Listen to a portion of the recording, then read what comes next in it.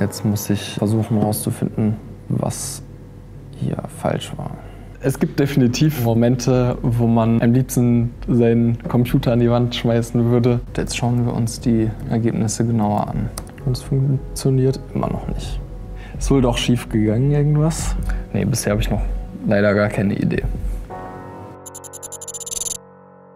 Hallo, ich bin Simon.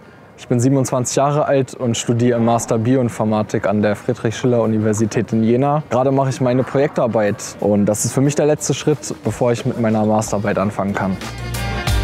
Also ich schaue mir in meiner Projektarbeit eine Reihe von Verfahren an, um die RNAs, die von unserem Genom abgelesen werden, zu rekonstruieren. Die genetische Information lässt sich darstellen auch als einfache Sequenz von Buchstaben. Das Problem ist, wir können nicht so einen langen Text am Stück lesen, sondern wir können eigentlich immer nur zufällig ein kleines äh, Stück daraus lesen. Da kann man sich dann gucken, passen die vielleicht zusammen oder vielleicht äh, einer von den ganzen vielen anderen.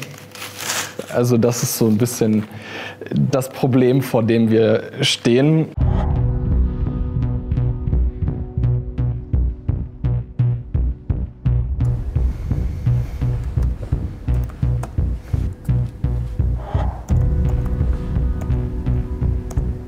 Also mein äh, Skript ist jetzt nicht wie vorhergesehen gestartet. Jetzt versuche ich es nochmal.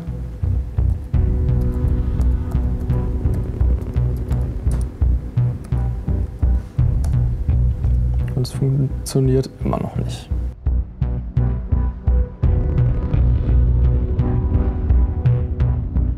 Meine Projektarbeit ist äh, Teil eines größeren Forschungsprojekts zum Grönlandhai.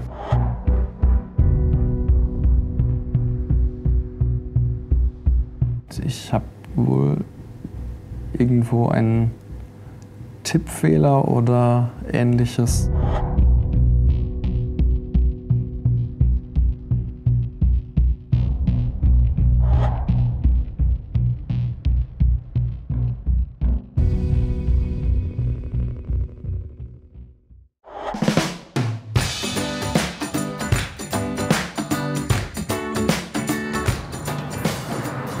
Die Vorlesungsräume sind teilweise sehr weit voneinander entfernt. Also überall in der Stadt gibt es einzelne Gebäude von der Universität. Man hat dann äh, dadurch automatisch immer so ein paar kleine Spaziergänge, kleine Pausen.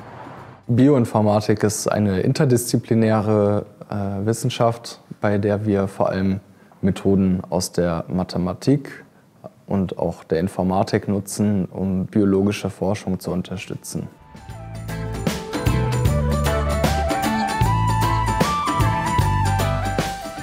Wir besuchen jetzt die Vorlesung Molekulare Genetik. Wir setzen uns immer wieder auch zu anderen Studiengängen äh, im Bereich der Biologie mit dazu, um auch von denen was zu lernen.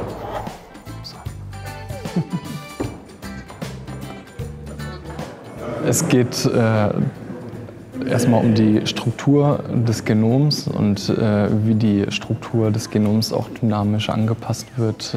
So as always a bit repetition of last time, we talked about chromatin and histone code and we talked about how is it possible to change a chromatin so that genes are regulated.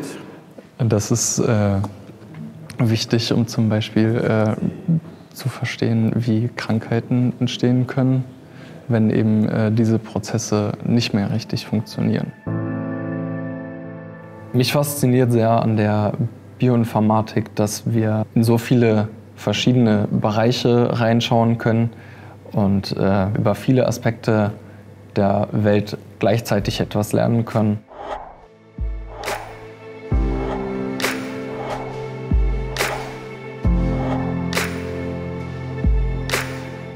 Bioinformatik habe ich äh, als Studium für mich entdeckt, nachdem ich beschlossen hatte, mein erstes Studium zu wechseln. Ich habe davor angewandte Naturwissenschaften studiert und in dem Studium hat zu fast jedem Modul auch ein Laborpraktikum gehört.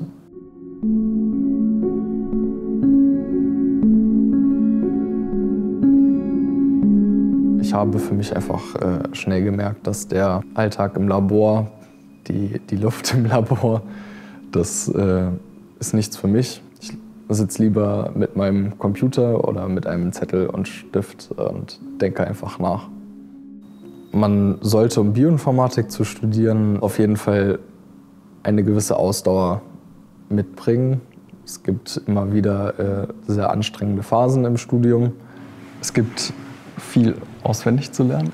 Im Endeffekt schreiben wir die gleichen äh, Prüfungen wie die Studenten aus den jeweiligen Studiengängen. Das heißt, äh, genauso tief wie die spezialisierten Leute müssen wir das dann auch kennen.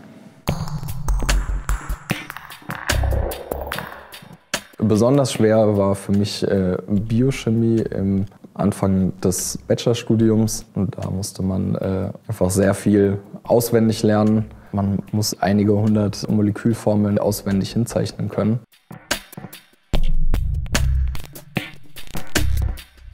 Das ist mir oft schwer gefallen.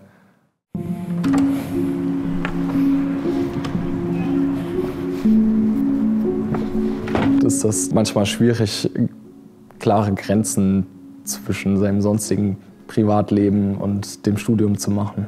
Ich habe am Geburtstermin meines Sohnes tatsächlich erfahren, dass ich in einer Prüfung durchgefallen bin und sie wiederholen muss.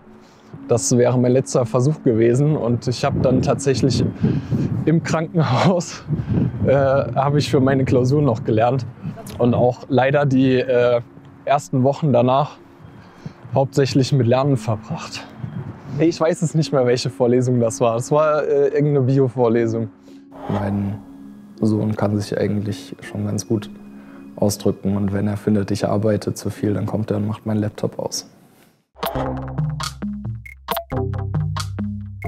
Neu ist, dass ich äh, eine weitere Programmiersprache lernen muss. Es gibt natürlich immer Ähnlichkeiten zu anderen Programmiersprachen. Das heißt, man muss nicht immer alles komplett äh, von vorne lernen. Aber manchmal äh, vermutet man, es gibt Wege, etwas zu lösen, weil man das aus anderen Sprachen kennt und dann funktioniert das so nicht.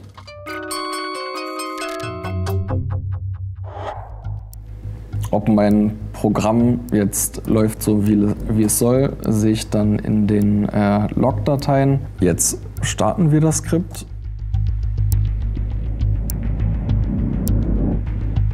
Es gefällt.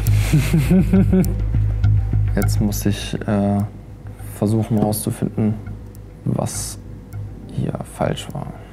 Okay. Ich habe einfach nur vergessen, was zu löschen. Ich hoffe, ich habe es gefunden. Ich hatte nur den Pfad zum Ordner angegeben, aber nicht den jeweiligen Dateinamen. Jetzt versuche ich es nochmal und es funktioniert immer noch nicht.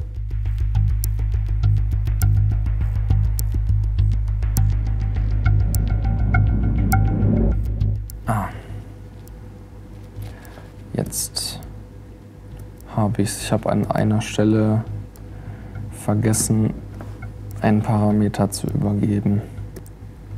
Jetzt starte ich das Programm nochmal. Jetzt läuft's. Mir macht das Spaß. Ähm, ja, es sind eben diese äh, ständigen kleinen Erfolgserlebnisse, die man dann bekommt, wenn mal wieder was funktioniert.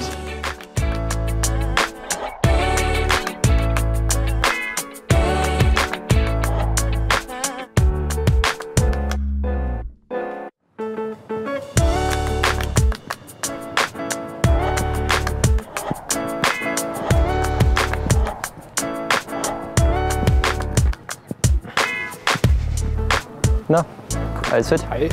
Ja, bei dir? Oh ja, eigentlich auch. So. Würde ich von mir abschreiten, dass ich, äh, dass ich jetzt ein Sheldon bin, aber das ist für mich auch keine Beleidigung. Auch generell an der Informatikfakultät, da gibt es relativ wenig lange Haare bei Männern.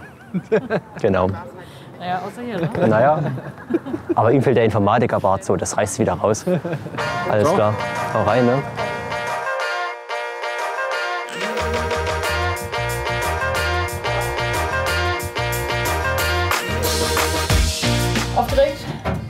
Ein bisschen. Denn wenn das jetzt nicht funktioniert hat, äh, stehen noch mal ein paar Stunden zusätzliche Arbeit an. Also es ist auf jeden Fall durchgelaufen und das ist doch schon mal gut. Jetzt schauen wir uns die Ergebnisse genauer an. Okay, doch nicht. Ist wohl doch schief gegangen irgendwas. Hm.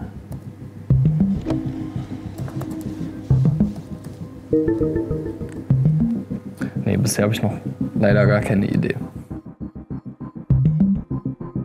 Eigenschaften, die einem auf jeden Fall im Studium helfen, sind Neugier und Geduld.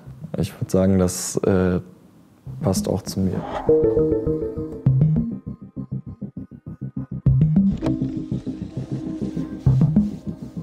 Es gibt definitiv Momente, wo man am liebsten seinen Computer an die Wand schmeißen würde. Ich hoffe, dass ich äh, trotzdem mit der Arbeit äh, in etwa in den nächsten sechs Wochen durchkomme.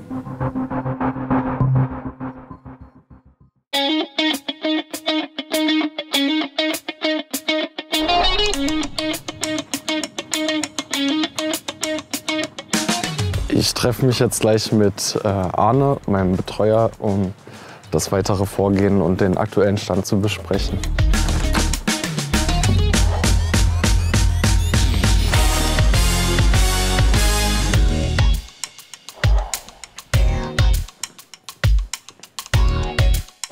Na, alles gut? Ja, bei dir. So. Ich habe auf jeden Fall heute einiges zu zeigen. Oh, das ist gut.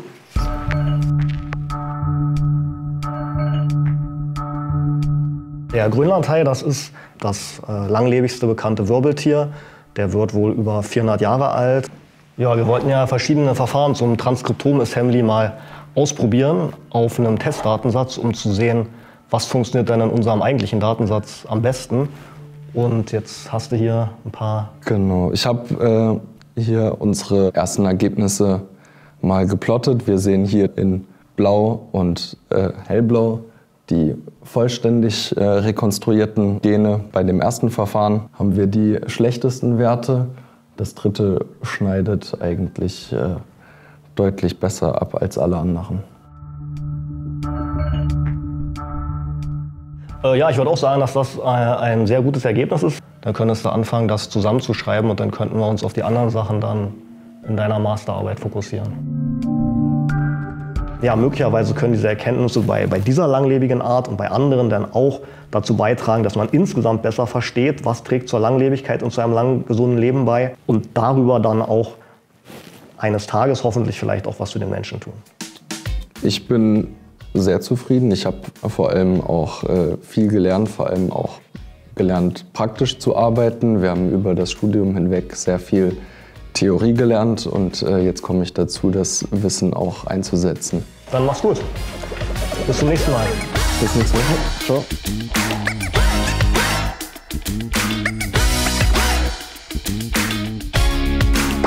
Wenn ihr wissen wollt, wie ein Berufseinstieg nach dem Bioinformatikstudium aussehen kann, dann schaut doch mal in die ARD-Mediathek. Wenn ihr euch für das Thema Informatik interessiert, klickt doch mal hier.